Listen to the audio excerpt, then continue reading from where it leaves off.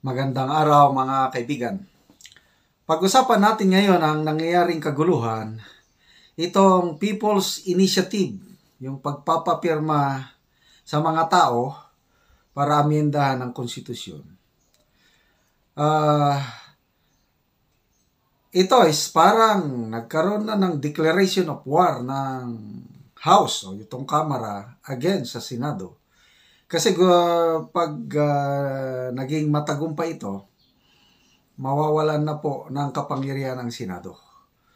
So dahil dito, eh, umalma si Senator Subiri at uh, nagsumbong kay PBBM. And then, nagkaroon ng meeting. At doon sa meeting na yon, ito, pakinggan nyo ang salaysay ni Senator Subiri na it seems na napahiya si Speaker Romualdez.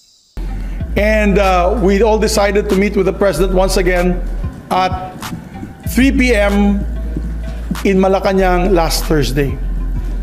In that meeting, we, well, we were there early, so uh, uh, we met together with uh, Senator Lauren Legarda. Kasama po namin si Congressman uh, Sandro Marcos, uh, Sap uh, Anton Lagdameo, uh, and uh, the Speaker and myself. In that meeting, we discussed the scenarios. And of course, I defended the position of the Senate na talagang malabo yan kasi as far as we're concerned, their plan is unconstitutional because we are a bicameral system of government. Kaya, nung pagkita po natin kay, Presi- kay Presidente, um, we decided, the President, first of all, and I'd like to thank the President for his comment that the PI is too divisive and he even mentioned news items from the major networks that he watched the night before. At sabi, oh, nagkakagulo na, bakit nagkakaganyan, uh, uh, may bayaran. And he said, he even said na, and I thank the President for this, because he even said na, eh ako dati ako senador. Eh bilang dating senador, hindi din ako papayag na ma-undermine o ma-diminish ang kapangyarihan ng Senado sa pagdating ng usaping uh, bicameralism or bicameral form of government. So maganda So, very clear po ang uh, pagkwento uh, ni Senator Subiri yung mga meeting na nangyari. Uh, last week, ano, Martes, Senator Subiri nagkipag-appointment kay President Marcos at eh, sinumbong niya yung sentiments ng mga senador na naaalarma na ang mga senador dahil sa ginagawang People's Initiative. Sa tingin ng mga senador, ito po ay unconstitutional. Uh, ang salita po ni Sen- Senate uh, President Subiri dyan is kinakapon kami dito sa Senado. uh, tinatanggalan ng uh, binibigwasan ng uh, kapangyarihan. Okay. So, yung meeting ni Presidente at ni Senator Subiri, lumalabas na hindi alam, hindi aware si PBBM itong nangyayaring ano, nangyayaring People's Initiative na yung mga allegedly may bayaran, may deception. So hindi alam. So ang guidance, uh, unang guidance ni Presidente kay Senator Subiri is mag-usap kayo ni Speaker Romualdez Siguro tinawagan niya si Speaker Romualdez, oh, uh, pag mag-usap kayo ni Senator Sobirin, ayusin niyo ang gulo. So, after Tuesday yung ano no, meeting ni President at ni Subiri. Pagka gabi, nag-meeting kagad si Senator Sibiri at Speaker Romualdez at nagkaroon sila ng lively but vigorous discussion. Yung talagang balitaktakan lumalabas na hindi sila nagkasundo. Kaya ang desisyon nila, punta sila kay presidente para mag-meeting. So, last Thursday, yun na, nagkaroon ng meeting uh, sa Malacanang, President, uh, Senator Subiri, Congressman Romualdez, uh, Senator Ligarda, sino pa? Congressman Sandro Marcos, and uh, uh, SAP, Special Assistant to the President, Anton Lagdameo. So sa meeting na yon, yun na, nagka, nagbigay ng pronouncement ang presidente na very divisive ang People's Initiative. Hindi siya sangayon.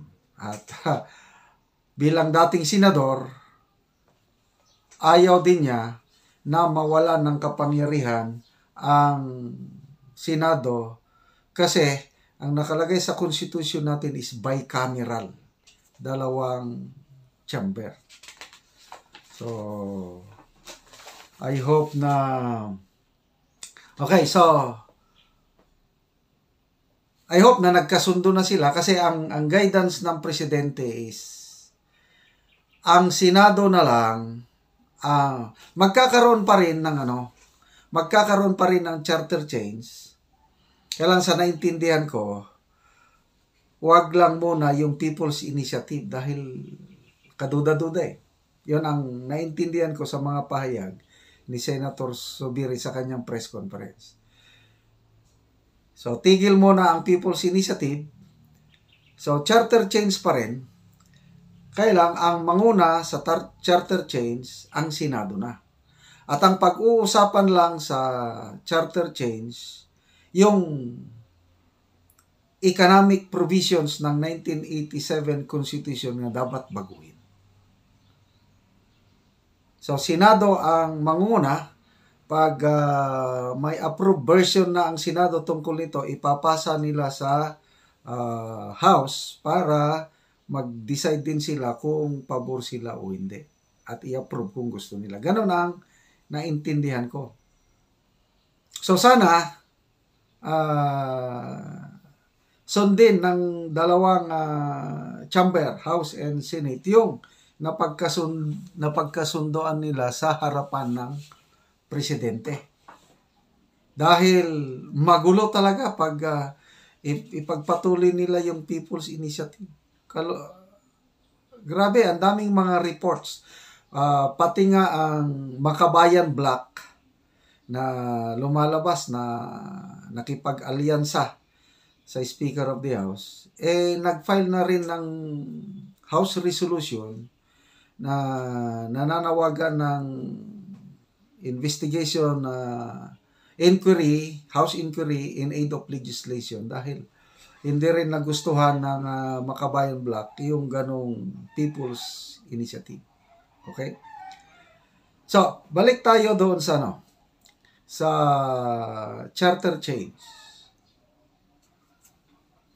Ang guidance ng presidente is pag-usapan yung uh, economic provisions na baka ito ang pumipigil sa pag-asenso uh, ng ating bayan dahil medyo restrictive yung konstitusyon natin pagdating sa uh, pag may may-ari ng lupa, sa edukasyon, sa media, basta ano, ganito, paliwanag ni ano ni Senator Subire.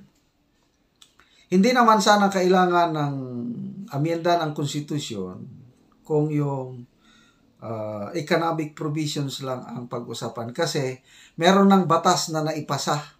Uh, Public Services Act of 2000 nakalimot ko yung taon basta panahon ni PRRD nakalagay sa batas na yan na pwede nang na, na lifted na yung mga restrictive na provisions sa constitution uh, pwede nang magme-may-ari ang mga foreigners ng uh, lupa, ng media network, something like that. Kaya lang, hindi ma-implement yung Public Services Act dahil question sa Supreme Court. So kahit nandyan na yung batas, habang wala pang desisyon ng Supreme Court, nakabitin. So, according to Senator Subiri and maybe the President, takot ang mga investors na pumasok.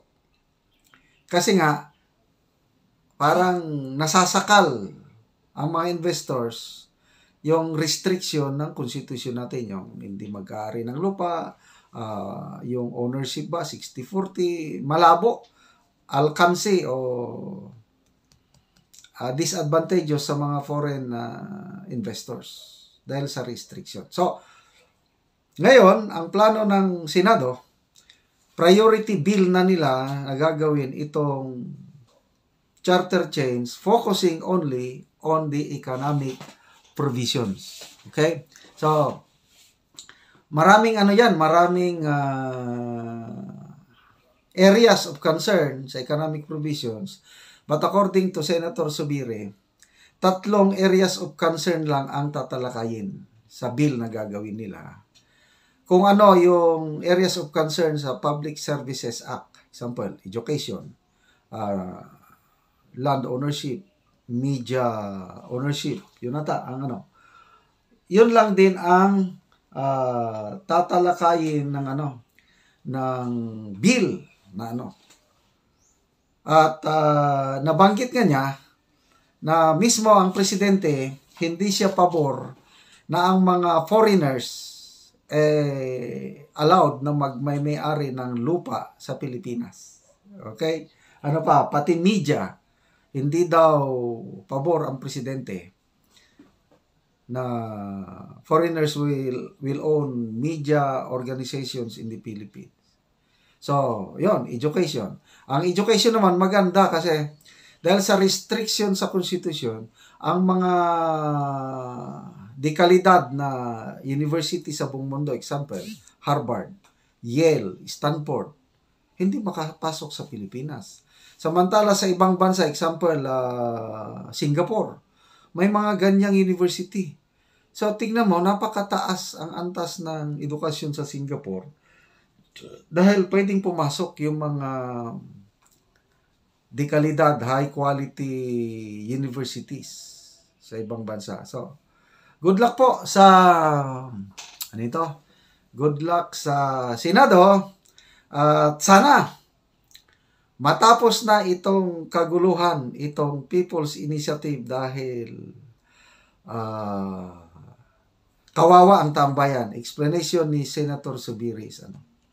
ang number one na biktima nito pag hindi maayos itong gusot, pag ipatuloy ng Kamara ang People's Initiative, ay mag-aaway itong dalawa, Senado at ano. So, pag nag-aaway na, hindi na maipasa yung mga batas na dapat ipasa para sa ikabubuti ng kalagayan ng mamamayang Pilipino. So, maganda itong nangyari. Sana ganito palagi para ano naman, maayos itong uh, grabe itong uh, problema sa politika. Dapat ang i-focus is paano maiangat ang kalagayan ng mga nasa laylayan dahil sila ang kawawang kawawa.